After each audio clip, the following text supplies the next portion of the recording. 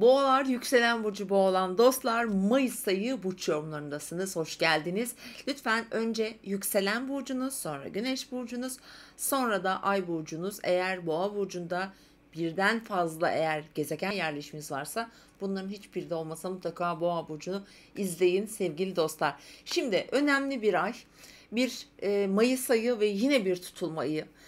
Üstelik de tam Akrep Burcu'nun 15 derecesinde tam karşıt burcunuzda bir tutulma yaşayacağız 5 Mayıs'ta sevgili boğalar. Bu demek oluyor ki sizin için çok önemli bir süreç. Bilhassa e, son 2 yıllık döngüyü aslında 2 yıldır belirsizlik kalan e, hala sonlanamamış bir ilişki olma ihtimali çok yüksek veya mevcut ilişkilerinizde bir takım sorunlar var diyelim. Bunlarla ilgili olabilir. İşte olabilir, özel ilişkide olabilir, evlilikte olması ihtimali çok yüksek. İşte buralarda çok güçlü, belirgin sonuçlanmalar gelecektir. Biraz eskiye dayalı olacak çünkü Merkür burcunuzda yani Boğa burcunda retro bu retro ile birlikte gelen tutulmada kesinlikle geçmişte yaşanmış bir takım yarım kalmış e, konuları tamamlamak üzere çalışacaktır sevgili boğalar. Bu arada yönetici gezegeniniz Venüs ikizler burcunda ve bu ay e, Venüs de burç değiştirecek. Şimdi sırasıyla sizlere anlatacağım. Öncelikle Mayıs ayının 16, 5 e, Mayıs'ta 16 derece, 14, 15, 16 derecelerde eğer bir yükselen ve 7. ev girişiniz varsa kesinlikle önemli olacaktır. Bu tutulma etkileri önümüzdeki 6 ay çalışacak. E, çünkü uzun sürecek bir tutulma. Dolayısıyla da Ekim, Kasım aylarında da yine aktifleşecek ve Mayıs ayının içerisinde de aslında aktif tarihler var. Şimdi onları söyleyeceğim. Bazı tarihler hatta sizin için çok çok çok güzel de olacak sevgili boğalar. Evet hemen e, tutulma ile başlıyoruz. Tutulma enerjileri gerçekten çok güçlü çalışacak.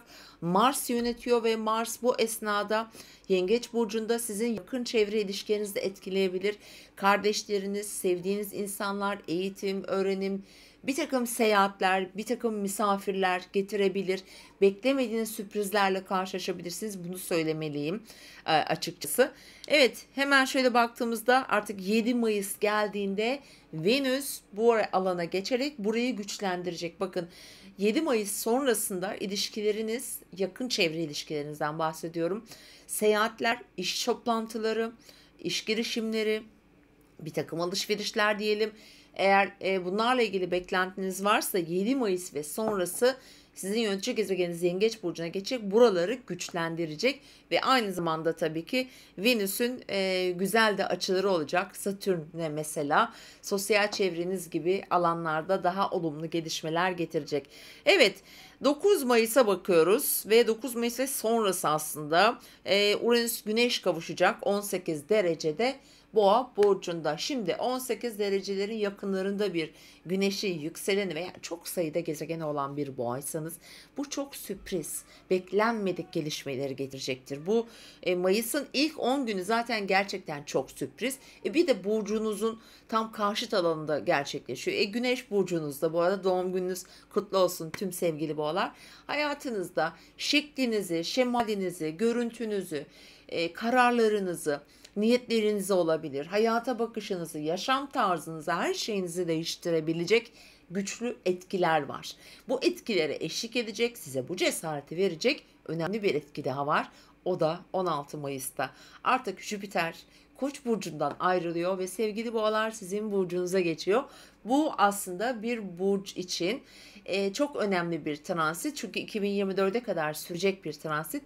Jüpiter'in tabi biliyorsunuz şans getiren, fırsatlar getiren, e, aynı zamanda hayatımıza daha büyük böyle ve daha kolay e, kazançlar elde etmemizi sağlayan bir yapısı vardır. E, burcunuza geçen Jüpiter'le beraber aslında yıl içinde hem tutulmalar olsun çünkü sonbaharda sizin burcunuzda yine boğa burcunda da bir tutum olacak. Hem diğer zor şartlar diyelim gökyüzünde çok zor e, açılar var, sert etkiler var ama Jüpiter burcunda olan bir kişi olarak siz boğalar bunlardan en az etki alacaksınızdır.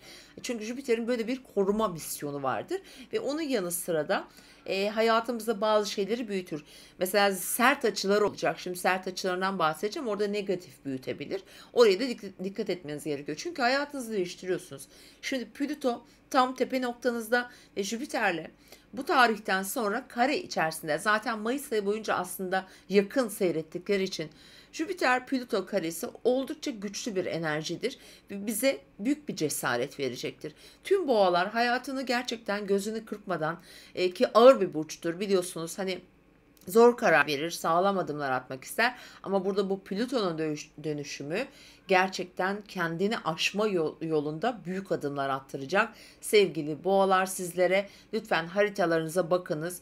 Eğer bu 18 derece 13, 14, 15, 16, 17, 18 mesela bu derecelere yakın yerleşimleriniz, güneşiniz, yükseleniz varsa gerçekten hayatınızda sıra dışı gelişmeler olmaya başlayacaktır. Evet artık 15 Mayıs'tan itibaren de Merkür'ün Boğa burcundaki retrosu bitiyor. Eğer böyle çok radikal, farklı yenilikler, gelişmeler yapmak istiyor iseniz ki mutlaka istiyor olacaksınız bu tarihi kullanın. Yani 16 Mayıs ve sonrasında Merkür normal hareketine dönüyor. Çünkü o da burcunuzda. İlişkiyi mi sonlandıracaksın? Hayatını bir düzene mi koyacaksın? Geçmişte şifalandırman gereken arkanda bıraktığın bir ilişki de olabilir bu. Bir aşk hikayesi de olabilir. Taşınmak istiyor olabilirsin. işini değiştirmek, belki şehir, belki ülke değiştireceksin. Bunların hepsini 16 Mayıs'tan sonraya lütfen planlayın ki bu dediklerimin birçoğunu birçok boğa e, yaşayacak çünkü Merkür artık düz olunca biz de biliyorsunuz rahat ediyoruz. Evet 18 Mayıs e, ve civarına dikkat etmek gerekiyor çünkü Jüpiter Plüto karesi aktif. Plüto tam e, hayatınızın tepe noktasından geçiyor. Bu arada tabii ki sağlığınıza dikkat edin. Beslenmenize dikkat etmeniz gerekecek. Çünkü kilo da aldırır buradan geçen Jüpiter. Hayatımızda fiziki bedenimizi de büyütür. E, o yüzden kontrollü olmamız lazım. Özellikle sağlık sorunlarınız varsa kesinlikle e, özellikle yıl boyunca bakın sakın egzersizlerinizi bırakmayın. E, diyet programlarına biraz daha sadık kalmanızı tavsiye ediyorum. Tüm boğalar ve yükselen burcu boğalanlar veya e, Venüs'ü boğa burcunda, ay, ayı boğa burcunda olanlar için bu geçerlidir. Oldukça ciddi bir kontrolsüz bir iştah artışı olacaktır. Evet 20 Mayıs'tan itibaren artık hayatımızdaki e, odaklandığımız şeyler değişiyor. Çünkü Mars artık Aslan Burcu'na geçiyor. Mars 16 Mayıs'tan sonra 4. evinizde seyredecek bu arada. Tabii ki sizin e, enerjiniz, motivasyonunuz evinizle e, uğraşmak olacak. Ya da o alandaki konular daha çok hayatınızda e, cazip gelecek. Daha çok orada emek harcayacaksınız, enerji harcayacaksınız. Evinizi değiştirmek, evinizin içindeki yenilikler, dekor değişimleri olma ihtimali var. Belki aile içerisinde hani ebeveynler de olabilir. Çünkü ev dediğimiz zaman bizim köklerimiz, akrabalarımız, sülalemiz gibi biraz arkamızda bıraktığımız e, geçmişle de çok alakalıdır. Bu arada Mars buradan geçerken biraz yorabilir e, mücadele ettirir. Çünkü Mars buradan geçerken sizi e, kare edecek ve aynı zamanda Jüpiter Mars karesi de aktif olacak. Bu 20 Mayıs sonrasında gerçekten özgüveniniz çok yüksek olabilir. Ani kararlar alabilirsiniz. Burada kontrollü olmanızı tavsiye ediyorum lütfen. Jüpiter Mars karesi çünkü ateşlidir. E, ufak tefek sakarlıklara karşı da temkinli olmak gerekebilir e, sevgili boğalar. Evet 20 Mayıs'tan sonra artık enerjiniz gerçekten yükselirken maddi konularda e, yine yükselişte olabilirsiniz. Kazançlarınızı arttıracak e, süreçler olabilir ve 21 Mayıs'tan sonra artık Güneş İkizler Burcu'na geçecek ve 21 Mayıs sonrasında sizin için daha e, lokal bir e, çalışma başlayacak. Mesela kazançlar, mesela para eviniz.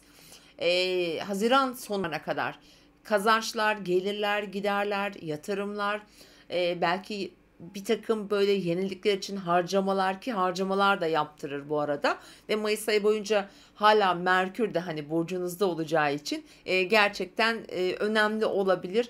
E, finansal konulara biraz dikkat etmeniz gerekecek çünkü burada Uranüs'ten etkiler alacaksınız ya e, kontrol önemli gerçekten. Para piyasalarında çok acayip dengesizlikler olabilir. Bu ay içerisinde çünkü bir tutulma var Akrep Burcu'nda. O yüzden lütfen hem ilişkilere hem para dinamiklerine daha kontrollü ve emin yaklaşmaya çalışın.